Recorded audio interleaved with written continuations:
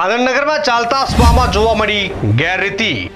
નિવારી ટ્રાવેલ સ્પામાં થયું જાહેરનામાનું ઉલ્લંઘન.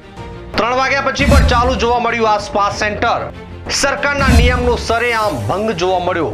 શું પોલીસ કોઈ કાર્યવાહી કરશે તે એક મોટો પ્રશ્ન. કોના તાબા હેઠળ ચાલે છે આ સ્પા સેન્ટર?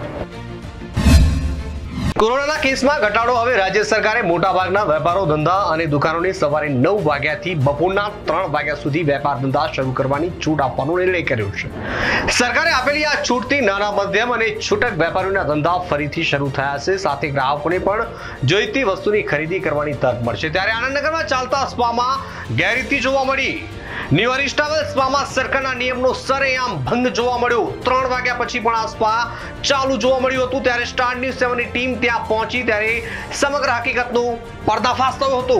ત્યારે લેડી સ્ટાફ ભાગી ગયો તો ક્યાંક કૂદી ગયો, ક્યાંક બાથરૂમમાં સંતાઈ ગયો સ્ટાફ. ત્યારે હવે જોવું એ રહ્યું કે શું પોલીસ આમાં કોઈ ચોક્કસ કે નક્કર પગલાં લેશે કે કેમ? તે તો હવે આવનારો સમય જ બતાવશે.